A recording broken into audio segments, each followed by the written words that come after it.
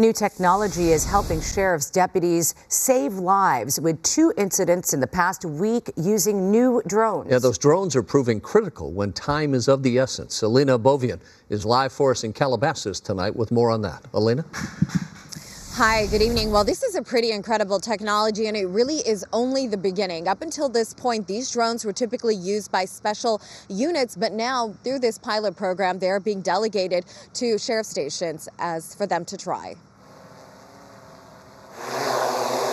The Malibu Lost Hills Sheriff's Department demonstrating today their newest drones, a technology that's helping save lives. Used earlier this week to rescue a 78 year old man with dementia who had wandered away from his home, lost in the remote hills above Malibu. He was shivering. I mean, like I said, it was dipping into the 40s. It was dark. I mean, we have wildlife out there. We, we, we don't know. The, the outcome could have been different. It took deputies 20 minutes to locate the elderly man through the use of thermal imaging. If out on patrol on the ground, it may have taken days. Two types of drones are previewed today, both equipped with wide angle zoom and thermal imaging, also a laser rangefinder which can pinpoint someone's exact location.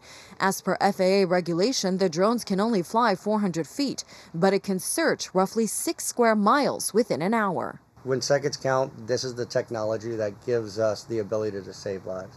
The Lost Hills Sheriff's Station was chosen for the pilot program because of the type of terrain its deputies have to cover, oftentimes steep and heavily brushed. That was the case during another recent life saving incident.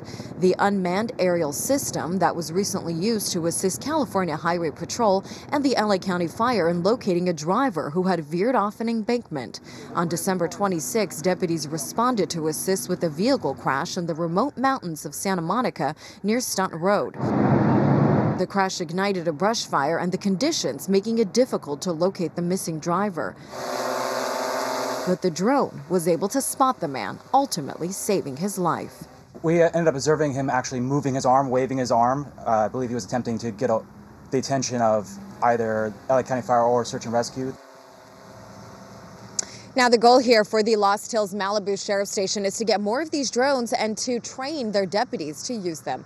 I'm Ellina Abovian here in Calabasas, KTLA 5 News. Ellina, thank you.